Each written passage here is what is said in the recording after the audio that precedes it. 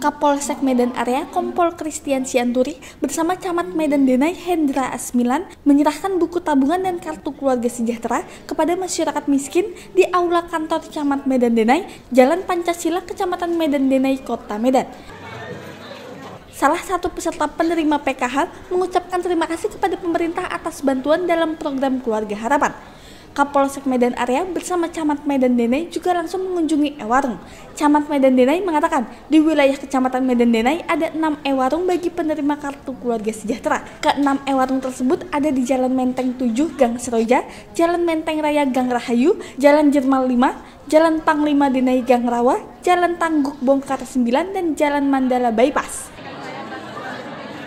Kapolsek Medan Area Kompol Christian Sianturi saat mengunjungi Ewarung menyampaikan pesan kepada pemilik Ewarung bahwa Polri ikut mengawasi.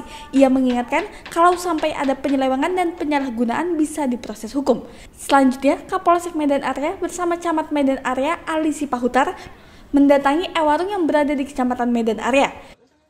Camat Medan Area mengatakan ada empat ewarung di Kecamatan Medan Area, yakni di Jalan Puri Gang Kemuning, Jalan Medan Area Selatan Lorong 1, Jalan AR Hakim Gang Setiakawan, dan Jalan Bromo Gang Panjang.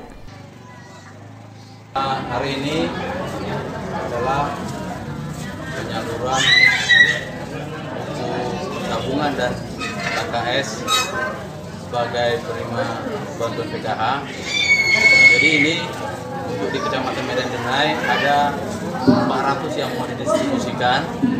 Jadi untuk hari ini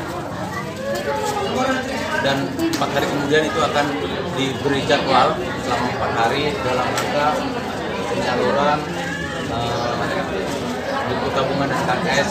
Semua ewarung dipasangi spanduk sebagai tanda dan memudahkan peserta program Keluarga Harapan.